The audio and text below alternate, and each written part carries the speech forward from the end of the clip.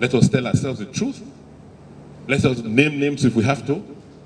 And if we have to go and tell those people to say, no, this is not going to happen this time. The people must choose who their local government leadership will be. The next elections, we will not accept godfathers in local governments. We will not. Because we have said no to godfatherism in Edo State. We will not accept godfathers. We can only people of proven integrity, people who have demonstrated capacity, people who their people know have served and will serve them, should be the people we should elect as chairmen and councillors in our local government.